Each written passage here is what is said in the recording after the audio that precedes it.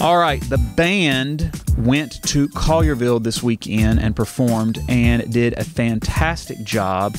The drum line came in first in y'all's uh, category, and I'm sitting here with three drummers, and they are Destiny, Destiny and Madison, and Talia. all right now, uh, Destiny, what do you play in the drum line?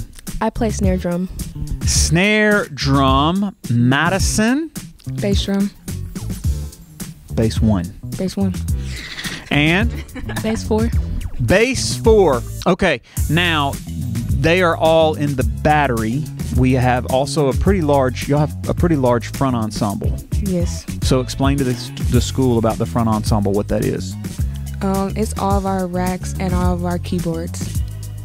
Racks and keyboards. Okay, it's all of the people on the front sideline with the mallets playing all of the stuff down there. Yes.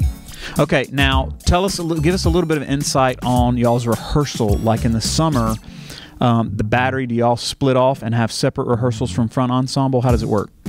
Um, we have one week where it's just percussion, and then we are split into two different sections with front ensemble and battery, and we have two different rooms for that.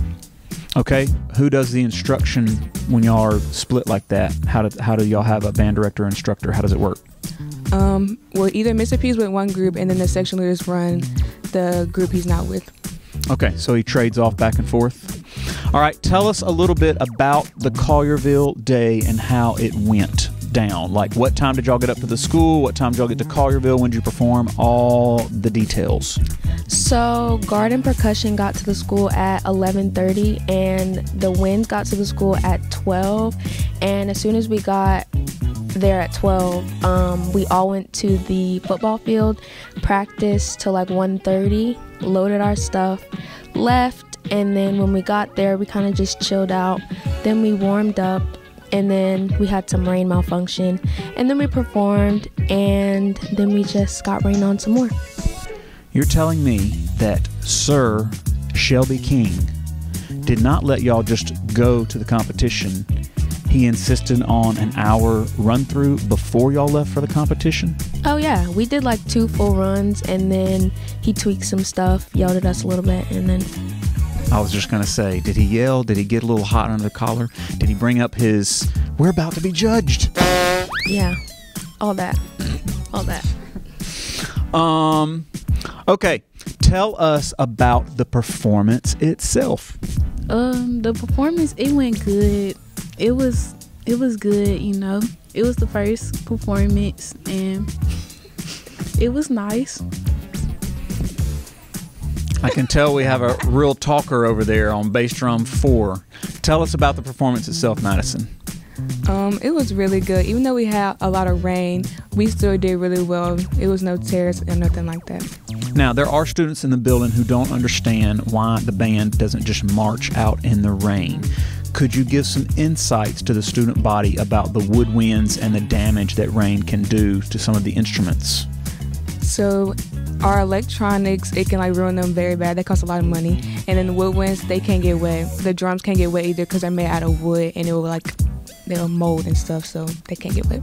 Right. The wooden instruments, if they get moisture in them, it can affect the tonality of the instrument and they can warp and then it can damage it. And just to give you an idea, some of these woodwind instruments can be upwards two, three, four thousand dollars a piece. So it's a lot of money tied up into all of that. Yeah, it is.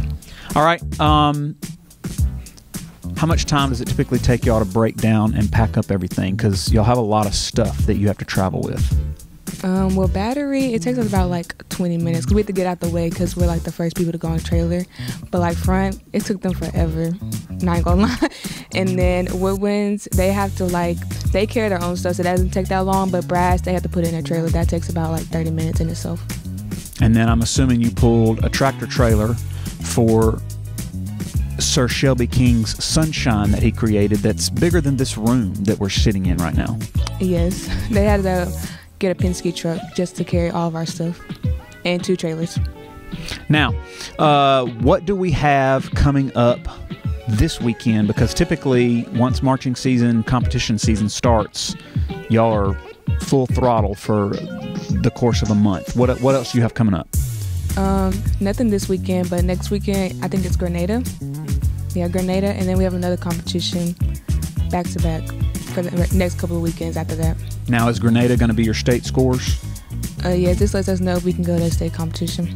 Right. So Grenada. Uh, what will you be working on this week? Is the show fully finished? Are y'all just going to be cleaning at this point, or are you still putting a, a last movement together? We're putting on the fourth movement, and we're going to do like I think half of the fourth movement at Grenada, and then we're going to put on the rest for the rest of the competitions. Okay, wonderful. We're looking forward to seeing everything that the band is doing. Hopefully, y'all get to perform at the next home game. There's been a lot of rain this season. Have you noticed that? Yes, I did. It's been very little performance out of the band because we've had several home games with rain, which, because of the rain, y'all are not able to play. So we're looking forward to a couple of home games in the coming weeks where we can see the band's full show in full uniform, which is the way it's meant to be seen. What's y'all's rehearsal schedule like uh, for the coming weeks? Um, so on Mondays and Thursdays, it's three to five, which kind of goes into class time, so it's technically like 1.30 to five. And then on Tuesdays, we do class, we go home, and then come back at 6 p.m. and go to 8 p.m. A lot of uh, commitment there to be in the band. A lot, so much.